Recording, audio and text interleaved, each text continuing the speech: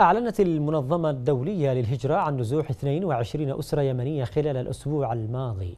وأوضحت المنظمة في تقريرها الأسبوعي عن النزوح أن الأسر النازحة خلال الفترة من السادس إلى الثاني عشر من أكتوبر الجاري جاءت من محافظات الحديدة والبيضاء وتعز وتوجهت غالبيتها إلى محافظة مأرب. وأشارت المنظمة إلى أن الأسباب الرئيسية للنزوح كانت الدوافع الاقتصادية المتأثرة بالانقلاب حيث شكلت هذه الدوافع نحو سبعة سبعة وسبعين بالمئة من حالات النزوح كما دفعت المخاوف الأمنية ثلاثة وعشرين بالمئة من الأسر إلى النزوح. وبهذا الارتفاع وفي ظل انتهاكات ميليشيا الحوثي الإرهابية وصل إجمالي عدد الأسر النازحة في اليمن منذ بداية العام الجاري إلى 2856 أسرة أي ما يعادل 17136 فردا.